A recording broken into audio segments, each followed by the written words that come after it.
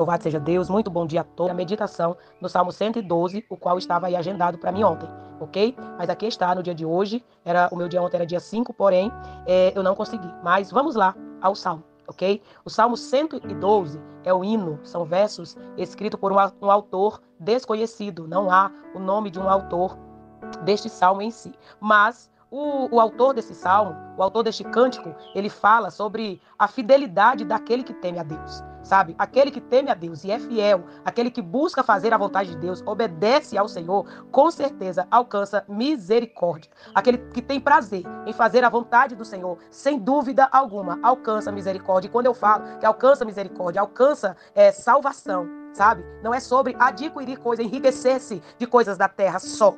Quando eu digo só é porque o Senhor também dá riqueza sim. Aqueles que são obedientes, aqueles que buscam a Ele, o Senhor dá sim. Mas é aqueles que sabem lidar com isso sem perdê-lo para o inimigo das nossas almas, ok? Então, o Senhor Deus tem sim para nós, desde que saibamos lidar com isso, porque o Senhor nos conhece. Ele sabe que se isso for nos corromper, Ele não permitirá que tenhamos. Eita, glória! O Senhor já fala fortemente aos nossos corações, já no início. Olha o que o Senhor fala conosco através desse salmo. Louvai ao Senhor. É uma, é uma afirmativa. Louvai ao Senhor. Ponto. Ok? E aqui ele continua: Bem-aventurado o homem que teme ao Senhor, que em seus mandamentos tem grande prazer. O que é ter prazer nos mandamentos do Senhor? É ter alegria em cumprir, fazer a vontade de Deus, mesmo quando muitas vezes nós nem acreditamos direito. Não é que não acreditamos, mesmo quando nós achamos que há outra saída, mas que venhamos colocar toda a nossa confiança na lei do Senhor, na vontade do Senhor. Ter prazer, ter alegria fazer a vontade do Senhor. Olha que coisa mais linda. E aí ele continua no 2: A sua semente será poderosa na terra, viu do que eu falei? É sobre isso será poderosa na terra. A geração dos retos será abençoada. Louvado seja Deus. Prosperidade e riquezas haverá na sua casa, e a sua justiça permanece para sempre. Oh, glória! E aí ele continua falando: olha, aos justos nasce luz nas trevas. Mesmo em meio a momentos extremamente difíceis, o Senhor nos dá o escape. Sabe, naquele momento assim de devassidão, que o Senhor te traz uma alegria que você não sabe de onde vem? Sabe, aquela, aquele gozo, aquela, Ai, aquele alívio que você está vendo tudo um caos, tá? não está se resolvendo a situação, não está resolvida. Mas você está em paz. É, é, essa a misericórdia do Senhor, é esse o socorro do Senhor. Para que nós tenhamos sabedoria para lidar nas, nas adversidades. Oh, coisa linda.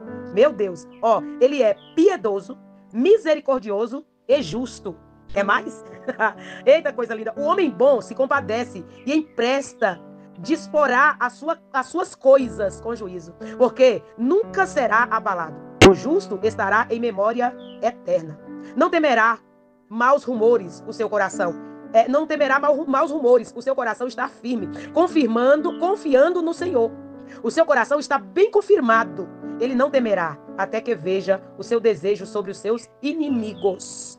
Esses inimigos aqui, eu sempre coloco aspas quando a gente vai falar a palavra inimigo, porque nós visamos sempre o nosso inimigo como pessoas, como seres humanos. Os seres humanos são apenas usados pelo inimigo das nossas almas.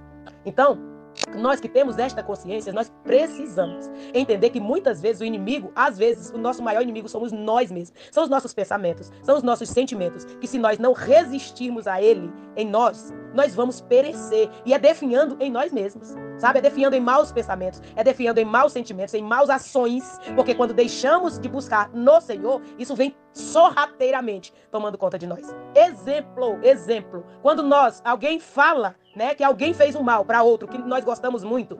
E eu vou deixar mais claro. Quando alguém fala, por exemplo, chegam para mim comentam, uma pessoa comenta, olha, fulana falou mal da sua filha, falou que ela é horrível, falou que é... aquilo vai fermentando, aquilo vai fermentando. Se eu não busco no Senhor sabedoria para digerir isso, daqui a pouco eu estou com muita raiva dessa pessoa que falou mal da minha filha. E se eu me aprofundar ainda mais nesses pensamentos, vou criar ódio também da pessoa que me trouxe a informação e assim sucessivamente. Só que só quem vai se definhando sou eu, porque posso gerar uma confusão, posso gerar uma loucura sobre outras pessoas ao invés de chegar aos pés do Senhor, para que o Senhor me socorra.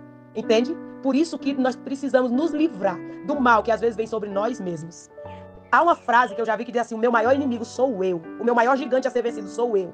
É sobre isso ok? E por isso que é o mais importante é buscar no Senhor, como esse salmista diz aqui, a fidelidade daquele que teme a Deus. É fidelidade, é ser fiel ao Senhor em todos os tempos e não traí-lo fazendo a nossa vontade no momento de, de ira. Isso que eu falei foi apenas um exemplo. Mas há inúmeros durante o nosso dia que, se nós colocarmos a nossa confiança só no Senhor, esses pensamentos se disfarão como fumaça em nossa frente. Esses sentimentos vão se dissiparem como fumaça em nossa frente, se nós continuarmos perseverando em confiar no Deus Todo-Poderoso. Oh, aleluia! Que fiquemos com esse salmo maravilhoso em nossos corações, entranhado, guardado em nossa mente, e saber buscar do Senhor, ser fiel ao Senhor em todos os momentos de nossas vidas. Amém? Louvado seja Deus, Deus abençoe a cada um, em nome de Jesus. Amém.